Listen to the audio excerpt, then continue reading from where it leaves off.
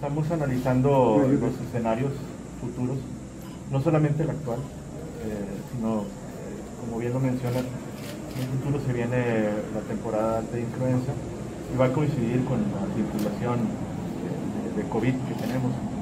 Entonces, pues hay algunas acciones que se tienen que implementar en la población por parte de jurisdicción sanitaria, el municipio, en, confluencia ambos para que, para que salgamos bien librados. Son muy puntuales en, en, general en la comunidad, reforzamiento definitivamente de las medidas de precaución que ya todos conocemos, supervisión en, las colonias que tengan alto índice de, de transmisión, eh, el apoyo directo por medio de brigadas a las zonas o las personas más vulnerables.